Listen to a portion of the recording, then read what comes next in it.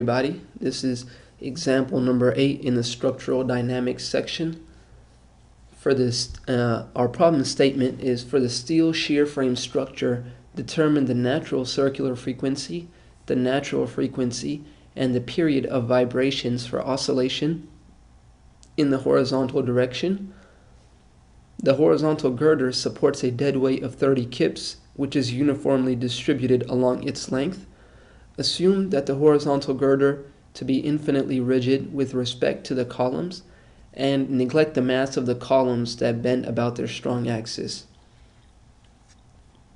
So here's our structure. We have three columns. Two columns, two the outer columns are W8 by 24 and they have a length of 10 feet.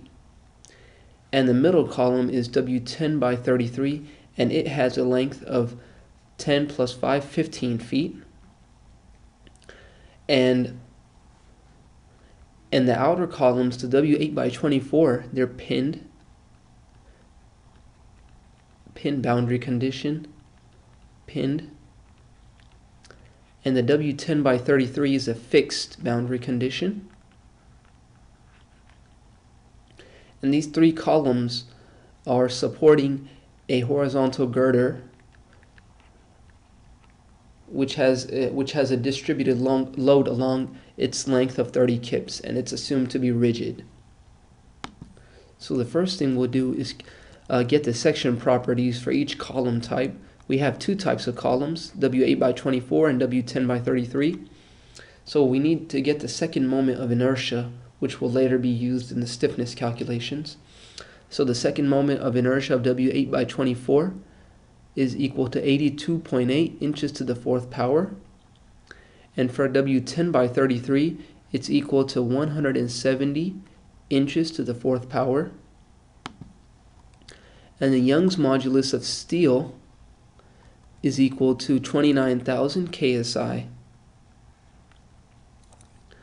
Next, we'll calculate the individual transverse stiffnesses for each column type. So first we'll, uh, we'll consider the W8 by 24 columns.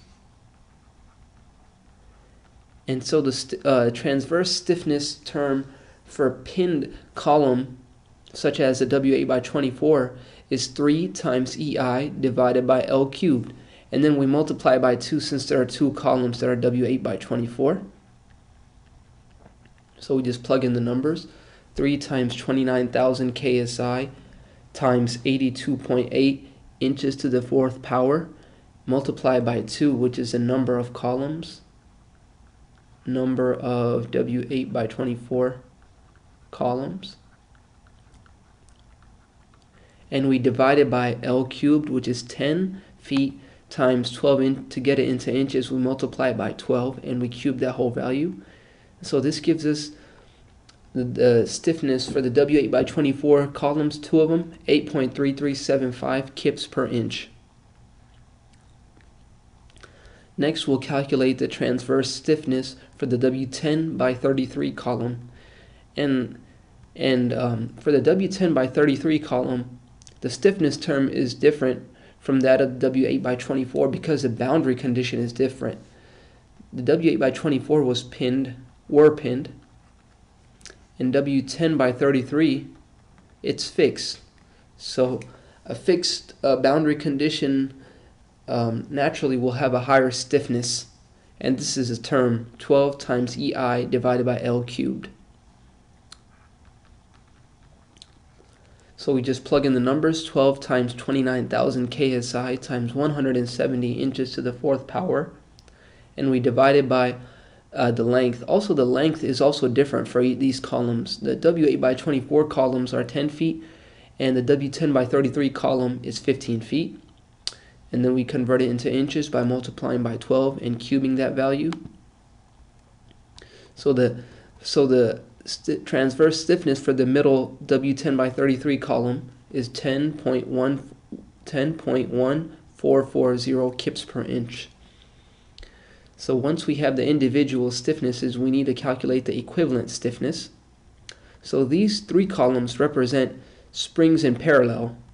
So to calculate the equivalent stiffness, we simply just uh, do the summation. We just add the individual stiffnesses up. So these are parallel springs. It represents, the three columns are represent parallel springs.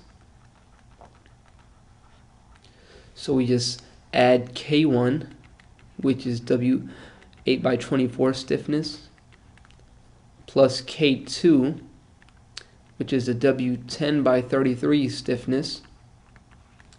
So 8.3375 plus 10.1440 kips per inch. It gives us an equivalent stiffness of 18.4815 kips per inch. Next, we'll calculate the mass, uh, which refers to the which pertains to the mass that the girder is supporting, that the columns are supporting, that distributed weight, which is 30 kips, which is on the girder. So we just convert that into the mass. So 30 kips divided by the gravitational acceleration, which is 32.2 feet per second, and then we multiply by 12 to get it into inches. So we have a mass of 0.0776 kips second squared per inch. Once we have the equivalent stiffness and the mass, we can calculate the natural circular frequency, omega, which is simply the square root of the equivalent stiffness divided by the mass. So just plug in the numbers 18.4815 divided by 0.0776, take the square root. And so the natural circular frequency is equal to 15.4286 radians per second. Next, we'll calculate the natural frequency, which is equal to omega divided by 2 pi. So omega is 15.4286, which we just calculated above. Divide that by 2 pi, and this gives us a natural frequency of 2.4555 hertz.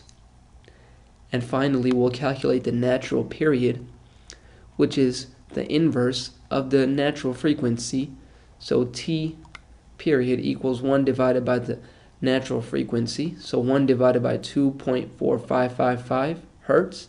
And this gives us a natural period of 0.407 seconds. And this is the end of example number 8. Thanks.